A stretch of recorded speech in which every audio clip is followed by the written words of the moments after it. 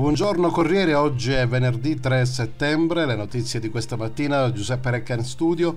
Situazione Covid in provincia, da due giorni i guariti risultano in numero superiore ai nuovi contagi, ciò consente un lieve calo della curva epidemiologica, il report dell'ASP di Agrigento registra 62 nuovi casi e 126 guarigioni, ci sono anche 4 eh, decessi nelle ultime ore, non ci sono persone attualmente in rianimazione e poi 1673 contagiati in totale, di cui 57 ospedalizzati.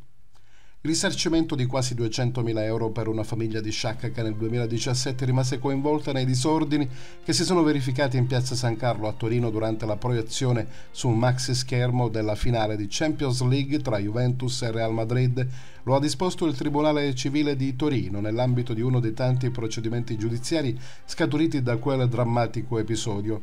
Le persone risarcite sono Sergio Nucci, insegnante di sciacca che da alcuni anni lavora in una scuola di Chivasso nel Torinese, la moglie e le due figlie all'epoca minorenni.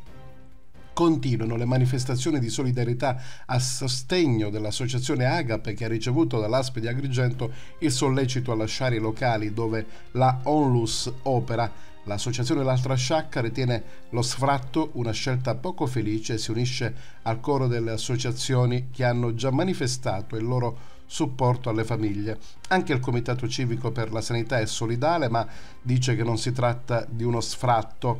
Ha inviato una lettera al commissario Mario Zappia per considerare in ogni suo risvolto la questione dei locali. Zappia oggi sarà sciacca.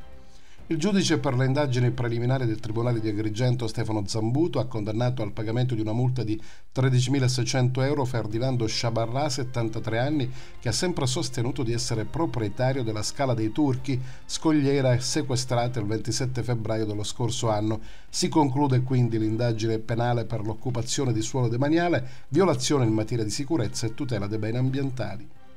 C'è sempre il mare, il titolo del libro di Domenico Rossello che verrà presentato questa sera alle ore 19.30 a Sciacca nel consueto appuntamento settimanale con il salotto letterario San Marco Restart, ospitato presso il resort Bono Vacanze della rinomata località turistica eh, di San Marco e organizzato dal comitato provinciale ASI. Si tratta dell'esordio letterario di Rossello che è giornalista del quotidiano La Sicilia.